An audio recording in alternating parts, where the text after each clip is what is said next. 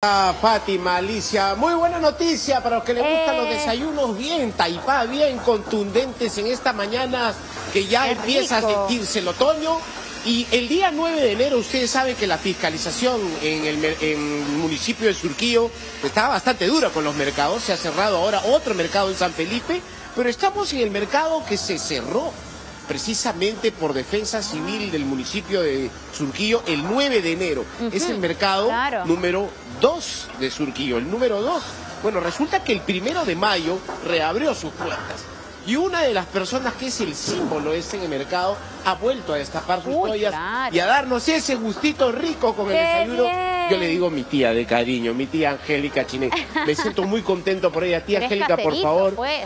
Contenta. de volverte a tener por acá, por favor. Estamos en vivo con Alicia Fátima y Uy. Fátima, Alicia, por favor, Hola. aquí tu caucau con oyuquito, tu seco Claro con que frijoles, sí. tu el arrocito con el pollo. Te espero, te espero, por favor.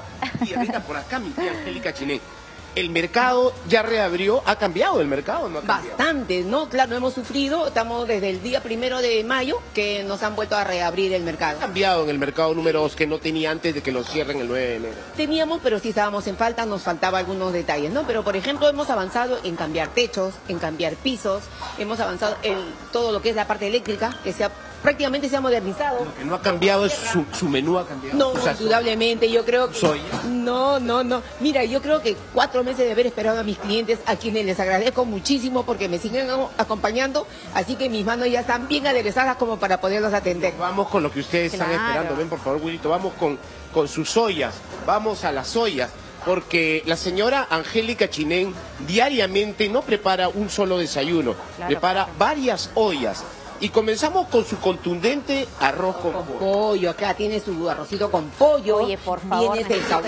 Antes de que cierre el, el- el arroz con pollo, Ay. hay personas, Fátima Alicia, que al arroz con pollo le ponen cerveza negra, otros Ya. le ponen pisco, Sí. otros le ponen cerveza rubia.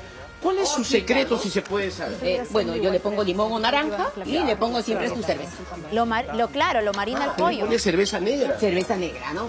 Y este pollito se, se, se hacen las presas antes de ponerlo con Antes, primero, primero sellas la- las presas, Claro. lo doras un poquito y, ahí en ese mismo aderezo vas, en ese mismo aceite vas haciendo Sí, todo. sí, Ahora, sí. mientras nos muestra sus ollas, eh, señora Angélica, esos dos o tres meses que el mercado estuvo cerrado, ¿cómo hizo?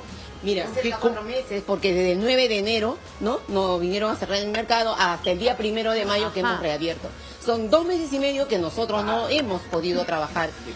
Sí, de paso. ¿Secreto poner eh, Bueno, siempre en las casas tenemos la costumbre de secar el orégano encima de la tapa. Claro. Fátima, eh, creo que tenías una pregunta. Eh, En realidad, más que pregunta, la gente aquí quiere ver plato. cada uno de los platos. Y estamos viendo este caucao que hemos defendido también aquí en el matinal, incluso allí mismo, por favor, que nos muestre el caucaucito y luego vayamos con la sopita también lo que tenga. Caucao de mondongo nacional, ¿ah? Fátima, Alicia, eh, le voy a preguntar a mi tía Angélica Chinén. A mí me han dicho que cuando se hace caucao hay dos tipos de mondongo, el nacional y el importado. ¿Cómo es eso, tía Angélica? Ilumínenos, el por importado, favor. el importado más se usa para hacer mononguito, ¿no? Ajá. Pero nosotros trabajamos más con el nacional. O sea, para el caucao queda mejor con el mondongo nacional. Sí, Qué el mondonguito rico, también, ¿ah? pero mucha gente usa el mondongo Y eso- importado para... Y si uno quiere comprarle, por ejemplo, un solo plato, ¿cuánto cuesta? Y si quiere combinar, ¿también se puede? Así es, tú sabes que casi todos los platos están en un básico de 15 a 18.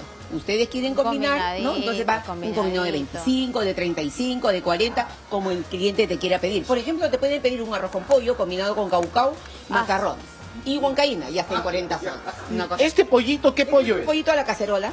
Hoy hemos hecho que va con papita y arroz. Ay, qué rico. Un pollito a la olla, ¿no? A la Sí. ¿Sabe cacerola. qué, Fátima Elisa? Yo le recomiendo Ah. de, de mi tía Angélica Chinén los jueves Estoy su aguadito de menudencia, que es de otro planeta, de otro planeta el aguadito de menudencia. Acá tenemos Mira ese seco, aguadito. seco de res hoy día. seco de res. ¿no? Es seco de res. Sequito de res. Esto va con frijoles, con payares, con... Eh, con frijoles con, pay- con frijoles. Con Con su frijolito Seco de con res y frijoles. Sí, Pero sí, sí. antes de irnos, Habrá, habrá un arrocito painita. con pollo, ¿sabe con qué? Con su huancaína. con su huancaína, como nos gustan los Claro. peruanos. Nos el servimos. arroz con pollo. Y su salsita No puede de- faltar su cremita de- con caína, ¿no? Servimos un arrocito con Es pollo por supuesto que sí, mira, ¿ves?